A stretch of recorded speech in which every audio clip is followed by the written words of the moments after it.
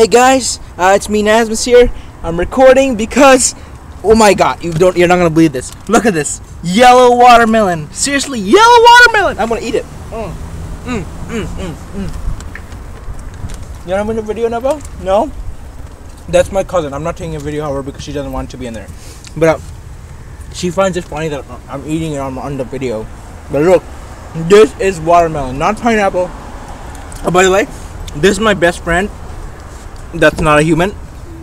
Her name is Mama QQ. I brought her from, from America.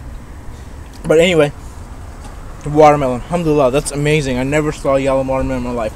Tastes like watermelon. Here's a close up shot of it. I'm gonna take one picture with my nose. Okay, but yeah, thank you for watching. Nihal, do you want to be in the picture or video?